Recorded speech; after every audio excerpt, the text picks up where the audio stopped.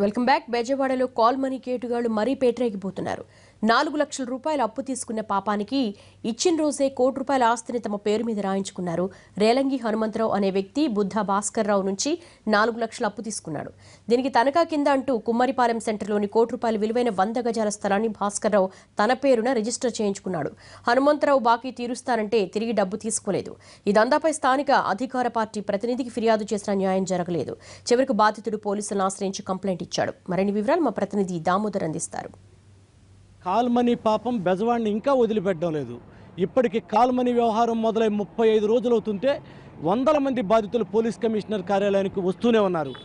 సాక్షాత్తు ఒక ప్రజాప్రతినిధికి సంబంధించినటువంటి బాబాయ్ బుద్ధా భాస్కర్ రావు వంటవంలో ఈ కుటుంబం కేవలం నాలుగు లక్షలు తీసుకున్నటువంటి పాపానికి ఎనభై ఏడు సెంట్లు అంటే సుమారుగా కోటి రూపాయల ఆస్తిని రాయించేసుకుని దందా చేశాడు. దీనిపైన వీరంతా కూడా పోలీస్ కమిషనర్ కార్యాలయంలో ఫిర్యాదు చేయడానికి వీళ్ళంతా చేరుకున్నారు. వీళ్ళంతా కన్నీటి పర్యంతం అవుతున్నటువంటి పరిస్థితిని మనం చూద్దాం. అవునండి మేము పిల్ల చల్లవండి మేము అసలు అదేనండి మాకు ఆధారం అండి మా అత్తగారు మామగారు మోసం చేశారండి వాడు మోసం చేసి వాళ్ళు ఇష్టం వచ్చినట్టు రాపించుకున్నారండి పిల్లల మీద కొట్టేస్తున్నామండి మేము.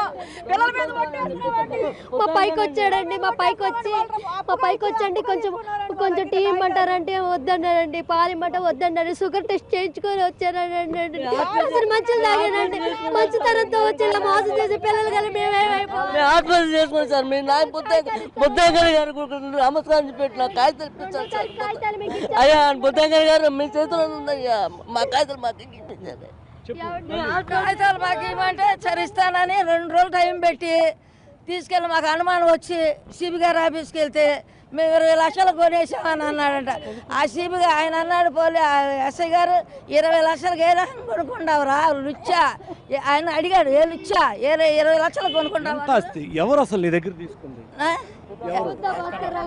భాస్కర్ రావు. భాస్కర్ రావు దగ్గర నేను తీసుకున్నా? నీ ఆస్తి ఎంత ఉంటుంది ఇప్పుడు విలువ? కోటి రూపాయలు ఉంటాయండి.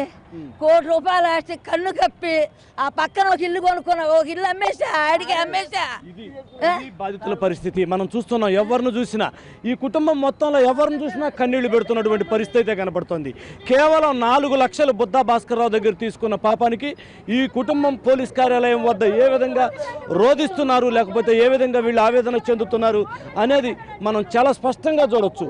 వాళ్ళ కన్నీళ్ళతో మొత్తం కూడా కేవలం నాలుగు లక్షల రూపాయల అప్పుగా ఇచ్చి కోటి రూపాయల ఆస్తిని రాయించుకుంటే వీళ్ళందరూ కూడా ఈ కుటుంబ సభ్యులందరూ కూడా వీధిని పడినటువంటి పరిస్థితి పడింది. వీళ్ళు ఉండటానికి వీళ్ళు లేదు.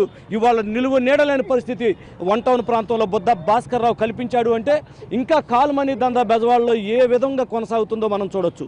ఇప్పటికే చాలా కేసులు వందలాది కేసులు పోలీ వందలాది కేసులు పోలీస్ కమిషనర్ కార్యాలయానికి ఇలా వస్తూనే ఉన్నాయి. ఇలా డాక్యుమెంట్ల రూపంలో మొత్తం కూడా కేవలం అప్పుకెళ్ళిన పాపానికి ఆస్తులన్నీ కూడా రిజిస్ట్రేషన్లు ఎంచుకుని భారీగా మోసాలకు పాల్పడుతున్నటువంటి పరిస్థితి అయితే చాలా స్పష్టంగా కనబడుతోంది. అందుకు ఈ కుటుంబమే ఉదాహరణ.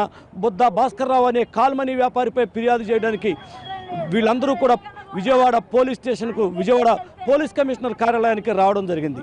Cameraman లక్ష్మణ్తో Damodar NTV Vijayawada police commissioner కార్యాలయం నుంచి.